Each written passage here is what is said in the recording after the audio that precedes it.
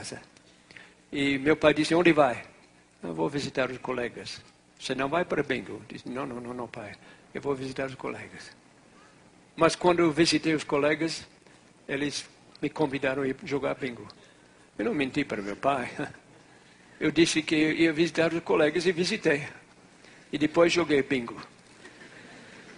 Quando cheguei em casa, fui para a cama. Foi uma noite horrível. Eu sabia que era mentira. Olha, tive uma das noites mais compridas da minha vida. Parece que não terminava aquela noite. Eu rolava de um lado para o outro. Diga uma coisa.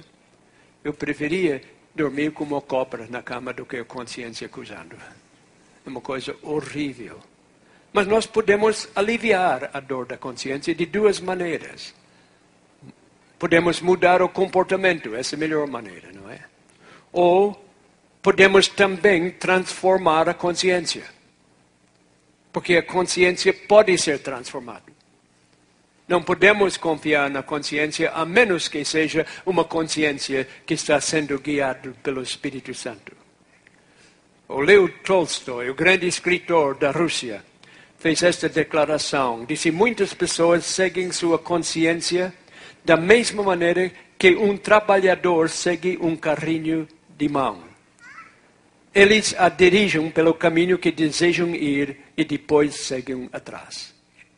E nós, como consciência, às vezes dirigimos nossa consciência para fazer a nossa vontade. E depois nós seguimos atrás do caminho que nós já escolhemos.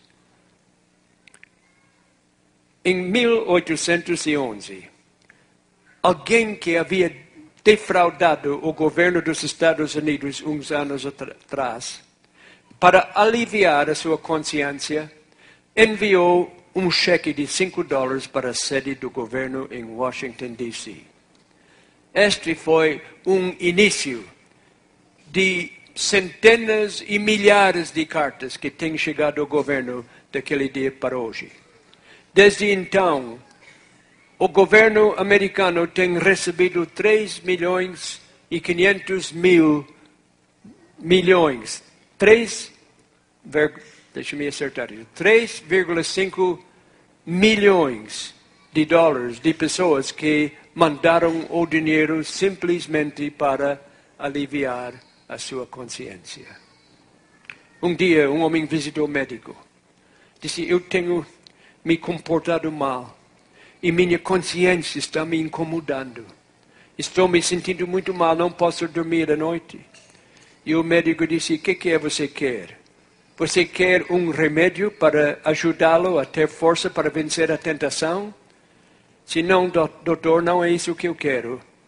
Eu preferia algo para, algum remédio para silenciar a minha consciência, porque eu quero continuar fazendo o que eu fiz.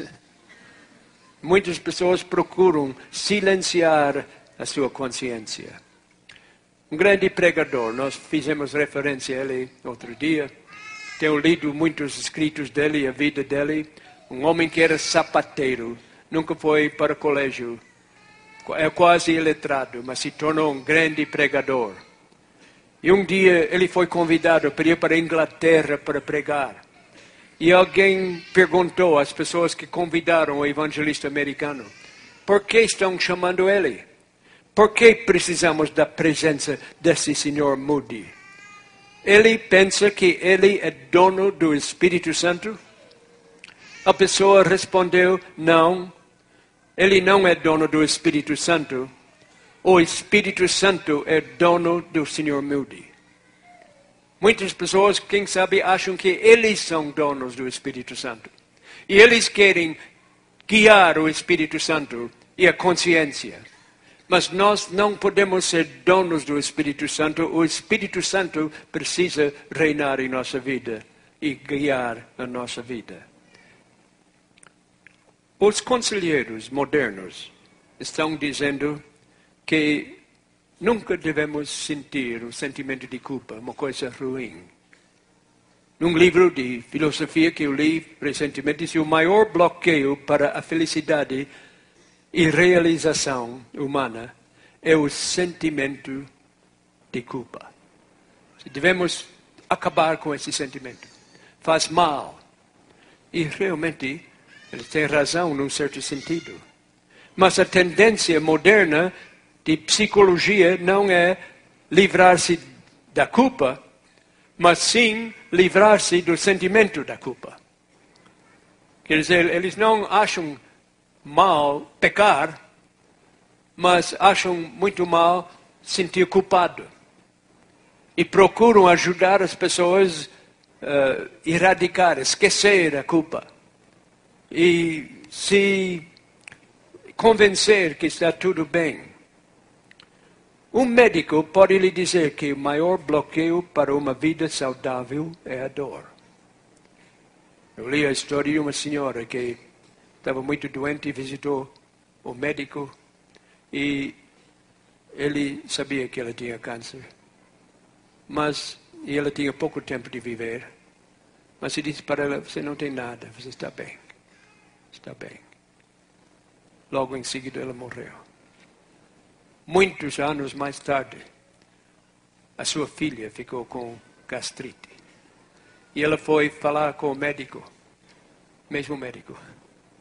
E ele examinou e era simplesmente gastrite. Disse: Você não tem nada, só gastrite. Você vai ficar boa. Ela saiu da sala do médico em prantos, gritando. E pergunta: Por quê? Essa mesma coisa que ele falou para minha mãe e ela morreu. Então eu devo ser a mesma coisa que ela tem. Ou a sensação de dor é uma coisa boa. Embora ninguém goste de sentir a dor, a dor pode ser nosso amigo ou a nossa amiga. Porque a dor mostra que alguma coisa está errado no corpo indica algum tipo de mau funcionamento no organismo. Por isso, a dor é nossa amiga. Porque é como aquela voz do avião que disse subir, subir. A dor nos mostra que devemos descobrir qual é a causa e eliminar a causa, não somente eliminar a dor. Aliviar a dor não resolve a raiz do problema. Por isso, precisamos procurar o médico que fará mais do que simplesmente tratar sintomas.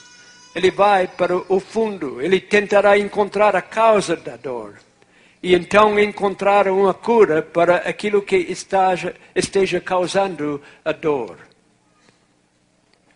No Canadá, uns anos atrás, vivia uma mulher que nunca na sua vida sentiu dor nenhuma. Havia alguma coisa errada, uma disfunção em seu organismo.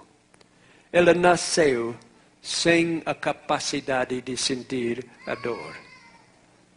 No entanto, ninguém inveja, eh, invejava ela, pois seu corpo era uma massa de hematomas e cicatrizes. Porque ele não sentia dor, podia colocar a mão no fogão quente e queimar e nem saber que estava queimando a mão. Ela podia cair e não sentir nada, mesmo se tivesse um osso quebrado. Ela foi hospitalizada repetidas vezes por infecções que o resto das pessoas conseguiriam evitar, porque a dor dá a advertência, mas não deu para ela. O fato de não ter o sistema de dor que todos têm para alertar dos perigos era uma deficiência muito séria. E nós podemos dizer a mesma coisa com a dor espiritual. O leproso não sente dor. É às vezes muito perigoso porque sem esta sensação ele pode entrar em grandes dificuldades, porque a dor tem grande valor. A culpa não é sempre ruim. A sensação de culpa não é uma coisa ruim, ao contrário. Se alguém tem esta sensação e sofre, dá graças a Deus, porque o Espírito Santo está trabalhando. Esta é a maneira do Espírito Santo nos avisar que alguma coisa está errada. Não devemos evitar a sensação de culpa. É um sinal claro de que o Espírito Santo está trabalhando no coração humano. Embora seja ruim e desconfortável, incômodo sentir a culpa de dor, é uma benção para o cristão. Funciona como se fosse uma voz suave da nossa consciência. Isaías 30, 21 disse: Os teus ouvidos ouvirão a palavra que está por detrás de ti, dizendo: Este é o caminho, andai nele, sem vos desviardes, nem para a direita, nem para a esquerda. Algumas pessoas acham que o Espírito Santo sempre tem que falar com ruído, com vento, como no dia de Pentecostes. Às vezes o Espírito Santo fala dessa maneira, mas muitas vezes o Espírito Santo fala numa voz suave e delicada.